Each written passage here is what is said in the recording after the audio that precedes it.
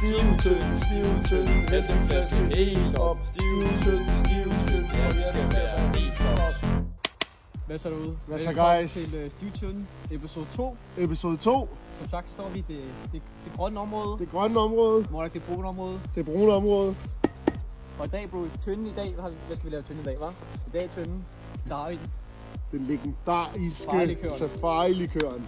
Hvad der er i, det ved vi ikke. Smager det godt? Ja, yeah, exotic er det. fruit. Okay, jamen når, når du kommer med sådan en, så vil jeg da lige sige Vi har da også taget... Shaker Sport, Smirnoff Ice. Hvorfor ikke til skal, guderne? skal vi have den i, bro? Jamen, øh, vi har glemt isterningerne i dag. Det, det, der er koldt udenfor alligevel. Ui. De dufter sindssygt. Jeg ved det. Den her. Den ryger. Vi skal også lige fortælle, hvad der er i procentmæssigt i sådan en flaske der.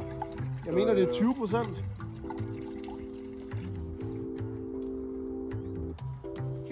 20 procent. 20 procent. Whoop, whoop, whoop, whoop. Vi tager base strawberry. Min fucking favorit. Jeg tager helten. Kan jeg lave det her? Øh, 16,4 procent. Ja, så det sådan. Ui! Shit, bro. Nice. Sådan der. Folket Ui, ved det. Oh, for så satan. kører vi den. Sprite, lemon sodavand. Sprite. En hel flaske. Halvanden liter Sprite. Der er meget i den her. Det hele skal med. Det i flasken? Jeg havde gået til spilen her i øh, i Skive. Jeg sværger, det ligner æblejuice. Guys, det hælder altså nogle øh, Ego, økologisk sodavand, lege med hyldeblomst i. Skud til stivkalenderen. Skud til det grønne. Grøn torsdag. Grøn torsdag. 3, 2, 1. Up.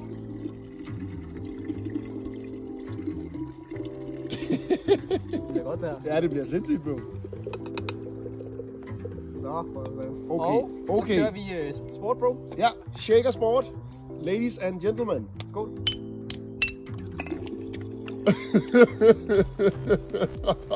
For fuck's sake, hvor er det godt, det her. Men altså, så har vi jo... Øh, Blødofte.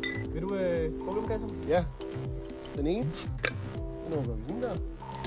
Den anden tager vi lige... Ikke dåsen. Vi Lad tager... være dåsen, guys. Lad være med det. I ved godt, hvor galt det kan gå. Siger vi skål? Smirnoff Ice. Det er nice. Ui. Så tror jeg, vi har en stiv, stiv drink. Skal du kopper. Så lad os lige opsummere. Safari likør, Base Strawberry, Sprite, Ego Sodavand, Shaker Sport, Smirnoff Ice. Og så skal vi, lige- skal vi shake. Fordi det hele det... Ej bro, det er ud. For fuck's sake, det er skide godt.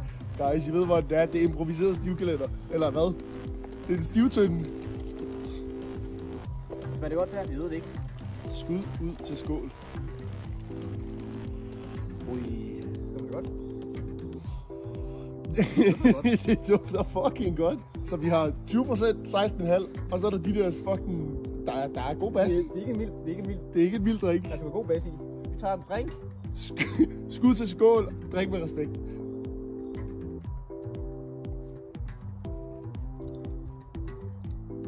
Øj. Men hvad smager det af? Åh, oh, det er godt. Men hvad smager det af, bro? Hvad er det, det smager af helt præcis?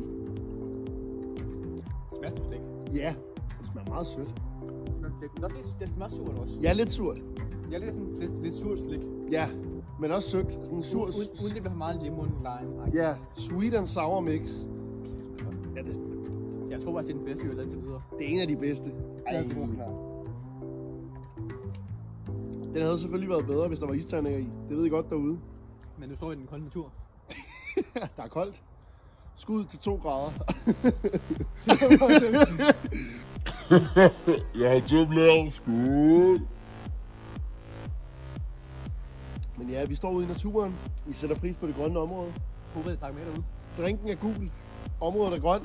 Eller brunt. Nej, det, det er mere faktisk om naturen. Ja, Men så tak fordi I så med. skud til den naturlige drink. Vi ses. Dør vi, drikker vi. Dør vi ikke, drikker vi. Derfor drikker vi.